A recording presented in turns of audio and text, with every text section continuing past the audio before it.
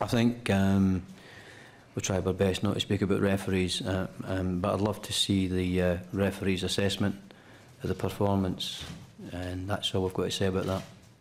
Well, the, the Germans are always going to have more of the ball and probably more chances. That goes without saying.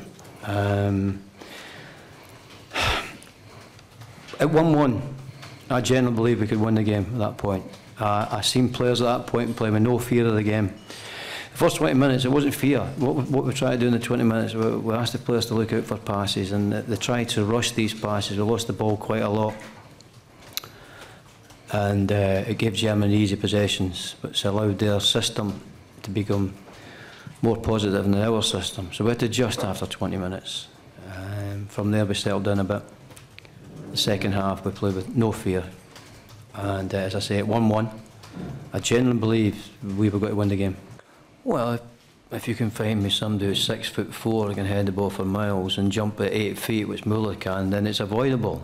If you don't have anybody to do that, and I, I, I think that most countries in the world do not have somebody to do that.